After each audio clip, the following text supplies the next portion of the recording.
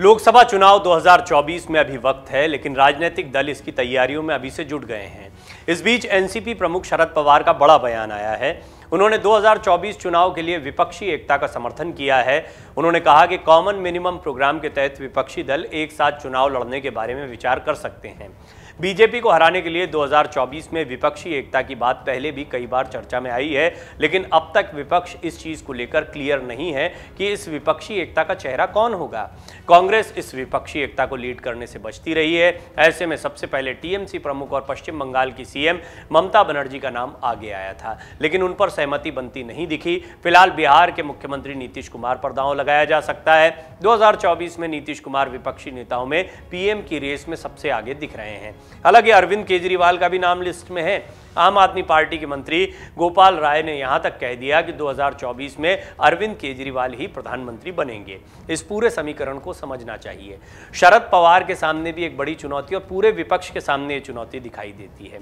विपक्षी एकता का ये बिखराव बीजेपी की बहुत बड़ी शक्ति है। हालाँकि इससे पहले के अगर शरद पवार के बयानों पर गौर किया जाए तो वो कह चुके हैं कि कोई भी ऐसा मोर्चा जो कि बीजेपी को टक्कर दे, वो बिना कांग्रेस के सहयोग के नहीं बनाया जा सकता है, उसके केंद्र में कांग्रेस को रखना पड़ेगा।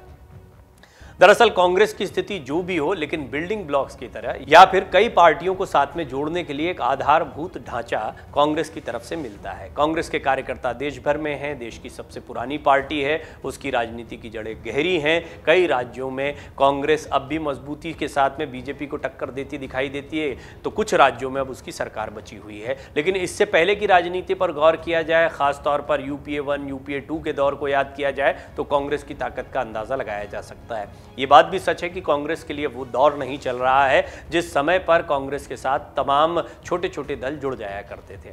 सबसे बड़ी दिक्कत ये भी है कि ममता बनर्जी और कांग्रेस के बीच की दूरियाँ कम नहीं हुई हैं। ममता बनर्जी इसी कांग्रेस को छोड़कर पश्चिम बंगाल की राजनीति में उतरी थी और उन्होंने अपनी कांग्रेस बनाई थी, तृणमूल कांग्रेस।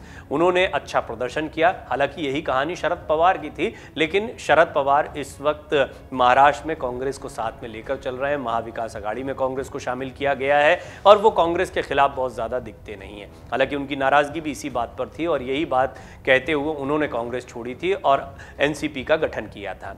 ममता बनर्जी और सोनिया गांधी या कांग्रेस नेतृत्व की दूरियाँ अब भी कम नहीं हुई हैं। जहाँ तक बिहार के समीकरण का सवाल है, कांग्रेस सरकार का हिस्सा इससे स्पष्ट है। महागठबंधन को इससे कोई दिक्कत नहीं। लालू प्रसाद यादव हमेशा से कांग्रेस के समर्थन में दिखाई दिए हैं। नीतीश कुमार अगर कांग्रेस को साथ में लेकर सरकार चला रहे हैं तो लिहाजा उनको भी कोई दिक्कत नहीं है। और अगर पीएम फेस के तौर पर उनको सामने रखा जा रहा है, हालाँकि केसीआर और उनकी कल की मुलाकात बहुत दिलचस्प रही थी और उनके पीएम पद पर होने का या पीएम की रेस में होने का जैसे ही सवाल उठाया गया तो वो खुद उठकर चले गए। उन्होंने इसका जवाब खुलकर नहीं दिया था। यानी अभी वो इस पर कोई बयानबाजी नहीं करना चाहते हैं, लेकिन इस पर बड़ी गंभीरता से विचार हो रहा है। अखिलेश यादव पहले ही स्पष्ट कर चुके हैं कि जैसा ममता बनर्जी और शरद पवार कहेंगे, वैसा ही हम करेंगे। यानी कि उनका रुख जो है, वो ममता बनर्जी और शरद पवार के रुख के साथ में जाएगा। ममता बनर्जी को क्या नीतीश कुमार से कोई दिक्कत हो सकती है? अभी तक तो ऐसी कोई राजनीतिक मतभेद देखने को नहीं मिलते हैं। बिहार में जिस तरह से सरकार बदली है या सरकार में जिस तरीके से सहयोगी बदले गए हैं, ये कहना ठीक होगा। उससे ममता बनर्जी खुश दिखाई दी। वो इस प्रयोग को ठीक मानती हैं। लिहाजा नीतीश कुमार के नाम पर उनके पास से कोई आपत्ति आएगी कहना मुश्किल लेकिन तृणमूल कांग्रेस ने एक बात कही है कि क्षेत्रीय दलों को अलग अलग जगह पर ताकत देनी चाहिए, बजाय इसके कि केंद्रीय स्तर पर आकर कोई मोर्चा बनाकर लड़ने के। यानी वो कोई मोर्चा बनाने के या किसी को चेहरे के तौर पर पेश करने के भी पक्ष में नहीं है। इसकी बहुत बड़ी वजह है कि चुनाव के बाद क्या परिणाम आते हैं और क्या कोई ऐसे समीकरण बनते हैं कि पोस्ट इलेक्शन अलग अलग राजनीतिक दल साथ में आए और जिसके पास में सरकार बनाने की चाबी हो वो अपना प्रधानमंत्री बना दे। या फिर अगर किसी बड़े दल को ज़्यादा सीटें मिलती हैं तो उसको समर्थन देने की स्थिति में कौन दि, कौन दिखाई देता है? ये भी एक महत्वपूर्ण समीकरण रहेगा। 2024 के चुनाव कुछ दूरी पर हैं। बीजेपी अपनी तैयारी कर रही है।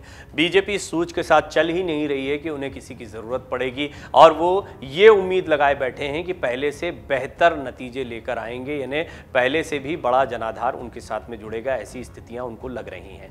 इसकी वजह क्या है? इसकी बहुत महत्वपूर्ण वजह है कि बीजेपी हाल के दिनों में मज़बूत हुई है। हालाँकि उसे अलग अलग इलेक्शन में, खासतौर पर उत्तर प्रदेश के चुनाव की बात करें तो समाजवादी पार्टी से कड़ी टक्कर मिली है। महाराष्ट्र में अभी हमने देखा कि महाविकास अघाड़ी गठबंधन की सरकार चल रही थी और जैसे तैसे बीजेपी की सरकार बनी है, बिहार में चलती हुई सरकार गिर गई और नीतीश कुमार ने पाला बदल लिया है। तो ऐसी कुछ जगह हैं जहाँ पर कड़ी टक्कर मिलती भी दिखाई देती है। तेलंगाना की राजनीति भी कुछ ऐसी है दक्षिण के तो तमाम राज्यों की राजनीति कुछ ऐसी है जहाँ पर बीजेपी बहुत ज़्यादा मज़बूत नहीं दिखाई देती है। कर्नाटक में ज़रूर बीजेपी ने अपनी ताकत को बढ़ाया है। वहीं महाराष्ट्र की राजनीति में कई ध्रुव दिखाई देते हैं। लिहाजा ये देखने वाली बात होगी कि क्या 2024 के चुनाव में भी प्रधानमंत्री मोदी का वही जादू चलता है, जो 2014 में और 2019 में चला था। और अभी तक के जो चुनाव के नतीजे आ रहे हैं, खासतौर पर उत्तर प्रदेश के साथ हुए अन्य राज्यों के विधानसभा चुनाव, जहाँ पर बीजेपी ने अपनी सरकार बचा ली, उन राज्यों के विधानसभा चुनाव के आधार पर तो ये कहा जा सकता है कि प्रधानमंत्री मोदी का जादू अभी चल रहा है। हिंदुत्व का एजेंडा उनके साथ में है, लेकिन पंजाब एक ऐसी जगह है, जहाँ पर केजरीवाल का प्रादुर्भाव हुआ है। विधानसभा की ज़बरदस्त जीत के बाद उनके अंदर एक कॉन्फिडेंस है, उन्हें उम्मीद है कि पंजाब के लोकसभा चुनाव में भी वो कमाल कर सकते हैं। पंजाब के लोकसभा चुनाव हो, पश्चिम बंगाल में लोकसभा चुनाव हो, महाराष्ट्र में लोकसभा चुनाव हो, बिहार में लोकसभा चुनाव हो, दक्षिण के कई राज्यों में लोकसभा चुनाव हो, यहाँ के नतीजे बहुत कुछ चीज़ों को प्रभावित करते हैं। महत्वपूर्ण राज्य बीजेपी के लिए कौन से हैं? उत्तर प्रदेश पर सबसे ज़्यादा फोकस रहता है। मध्य प्रदेश, राजस्थान, गुजरात छत्तीसगढ़ हिमाचल प्रदेश। ये वो राज्य हैं, और दिल्ली में भी जो सीटें होती हैं, दिल्ली में भी अच्छा प्रभाव बीजेपी का देखने को मिलता है। जम्मू कश्मीर की राजनीति में हम देख रहे हैं, गुलाम नबी आज़ाद जब कांग्रेस छोड़कर गए तो बीजेपी ज़बरदस्त तरीके से एक्टिव दिखाई दे रही है। तो ये वो जगह हैं जहाँ पर बीजेपी मज़बूत खेलना चाहती है। इनके सीटों के समीकरणों को समझें तो बीजेपी की सफलता हिंदी बेल्ट में हमेशा से ज़बरदस्त रही है। शरद पवार इस पूरे चुनावी गणित के चाणक्य कहे जाते हैं, उन्होंने सारे समीकरणों को देखा, समझा है। और जिस तरीके के बयान और जिस तरह की हलचल इस वक्त थर्ड फ्रंट इसको आप कह सकते हैं, क्योंकि कांग्रेस अलग थलग दिखाई पड़ती है, या यूपीए एनडीए, और एक और ऐसा फ्रंट तैयार किया जा रहा है जो यूपीए से अलग दिखाई देता, क्योंकि इसके केंद्र में कांग्रेस कहीं नहीं दिखाई पड़ रही है। लेकिन इस लिहाज से भी देखा जाए तो इस मोर्चे की सुखबुगाहट और प्रधानमंत्री मोदी को टक्कर देने की तैयारियों को हल्के में नहीं लिया जा सकता है। लिहाजा एक चेहरे की तलाश और चुनाव के पहले एक सर्वसम्मति बनाना यह बहुत महत्वपूर्ण चुनौती, एक बड़ी चुनौती है जो इन तमाम क्षेत्रीय दलों के सामने खड़ी हुई है। शरद पवार का यह कहना है कि कोई कॉमन मिनिमम प्रोग्राम बनता है तो इस पर बात हो सकती है। साथ में मिलकर सब चुनाव लड़ सकते हैं। डाउनलोड करें अमर उजाला ऐप और पाए खबरें लगातार। अगर आप ये वीडियो YouTube पर देख रहे हैं तो हमारे चैनल को सब्सक्राइब करें और बेल आइकन को दबाना ना भूलें। अगर आप Facebook पर यह वीडियो देख रहे हैं तो हमारे पेज को लाइक करें।